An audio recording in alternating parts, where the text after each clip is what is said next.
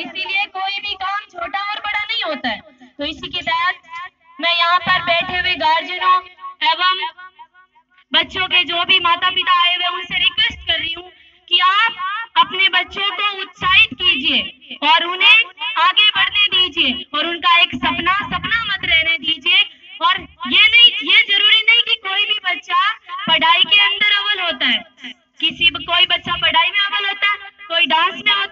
कोई म्यूज़िक में होता है तो कोई किसी और क्षेत्र में होता है। तो अब सबसे बड़ी कमी है कि वो अपनी काबिलियत को समझे और उस काबिलियत को समझ के अपने क्षेत्र में आगे बढ़ के अपना लक्ष्य तय करके कठिन परिश्रम, कठिन लगन के साथ में आगे आगे बढ़ेगा, तभी वो बच्चा सक्सेस होगा। और यही हमारे यहाँ इस क्षेत्र की कमी है बच्चों की, कि बच्चे ट्वेल्थ कर लेते हैं, अच्छी पढ़ाई।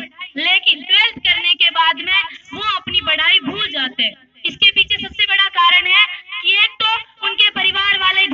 देते और दूसरा, वो खुद बच्चा लापरवाह हो जाता है। क्यों हो जाता है? क्योंकि वो बच्चा छोड़, ये सोचता है कि अब ट्वेल्थ हो गई, बस हमने पढ़ाई कर ली। इसका कारण ये नहीं कि ट्वेल्थ हो गई तो आपकी पढ़ाई हो गई। अपना लक्ष्य अभी तक पूरा नहीं हुआ है। तो जब तक लक्ष्य पूरा नहीं हुआ है तो स्वामी विवेकानंद जी कहते हैं कि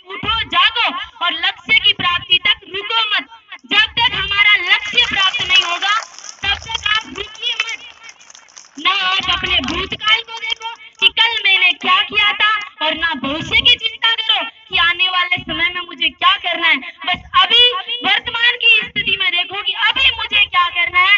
अपने पिता का नाम कैसे रोशन करना है, अपनी माता का नाम कैसे रोशन करना है, अपने समाज में काम कैसे करना है और इसी उद्देश्यों को लेकर जब आप चलोगे, तभी आप इस गाँव का, इस देश का विकास कर पाओगे। और जब एक गाँव का विकास हो जाएगा तो ऑलरेडी इस शहर का विकास, इस बीकानेर शहर, इस राजस्थान, इस भारत का भी विकास हो जाएगा।